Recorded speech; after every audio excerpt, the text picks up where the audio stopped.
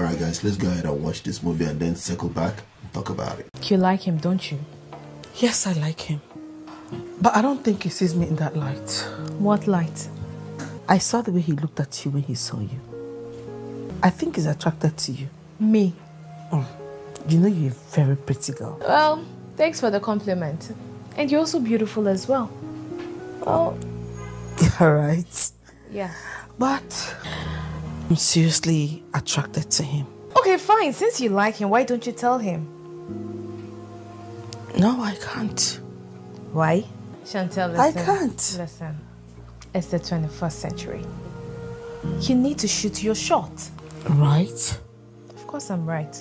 Yes. I should send him a message. It's not even like he's going to see me. Okay. Mm-hmm. I got the message. Message?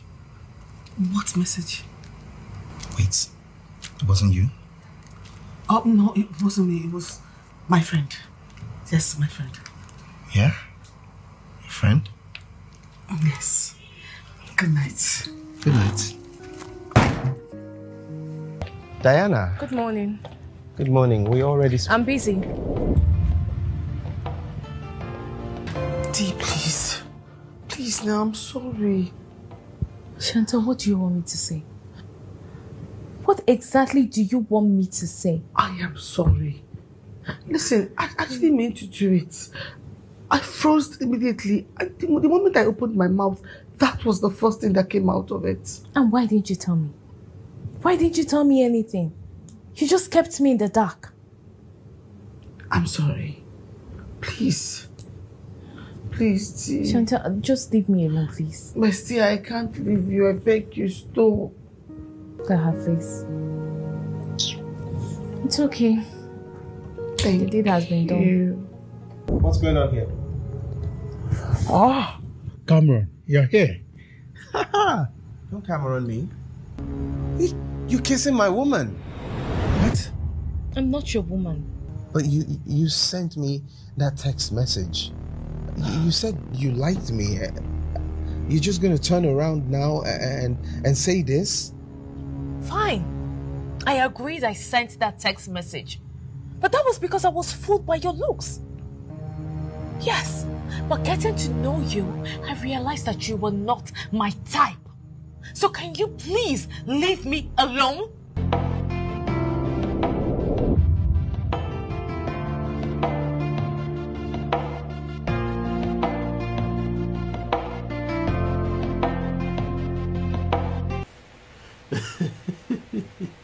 So in this one, the new meaning of love, um, yeah, it's the 21st century, and you know, a guy, a girl, either way, you should just shoot your shot. Uh, don't shoot your shot on a married person's uh, partner. Don't, don't, don't shoot your shot at the right direction. As you guys can see in this one, uh, you know, uh, it's it's really just teaching us to you know, at the beginning or when you're about to start a relationship, it's always good to be honest, you know. And I think I've talked about this in another video. Um, it, it, it's good to be honest because if for any reason, you know, you you plan on being serious with this person, and later on they kind of find out that you've you lied at an earlier stage, it, it, kind of really messes with the relationships dynamics. Uh, if the person had 100% trust in you, all of a sudden now they're doubting you, uh, and you know, whatnot, a lot of scenarios could come out of it.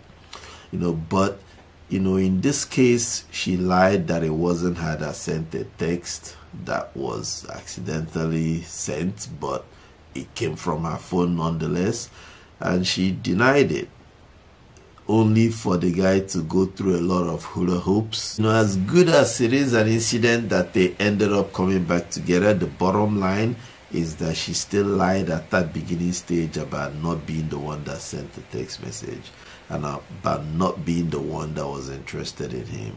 And you know, I, you guys can see if you watch the movie, which I recommend you guys go and watch. Uh, the link, of course, is at the bottom you would see that, you know, he liked her from the get go. But the fact that she now lied kind of created that rift in his mind when he later found out. And, you know, obviously it's no longer the same because, you know, now he's upset. Now he's not even sure if she could be trusted and, you know, all whatnot. So the lesson here is, you know, be, be honest from the get go, you know, you know, be honest with your partner, be honest when you are dating. Uh, you know the early stages if there's something that is little dark secret here and there don't assume that the person will hate you for it. You know tell them. You know sometimes they would still resent you and not want you but it's better that they do this up front you know so you don't waste your energy and your resources investing it into a relationship that would still not work out when he finally finds out. And this goes both ways. There's a lot of issues that could come up but whatever it is tell him let him know. If he's gonna walk let him start walking from the get-go. That you like him doesn't change the fact that he will still walk whenever he finds out. So be honest you know let him know and you know if it's uh, the other way either way let him let them know so that they will decide if they want to be there or if they don't want to be there with you.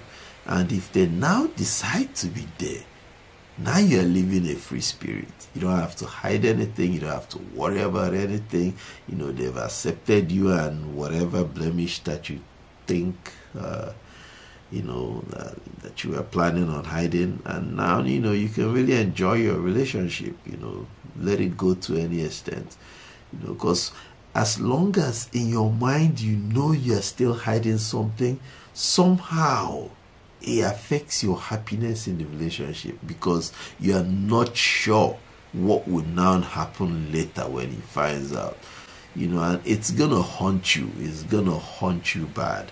So just let it out and then let them decide. And if they're in, you know they're in for good.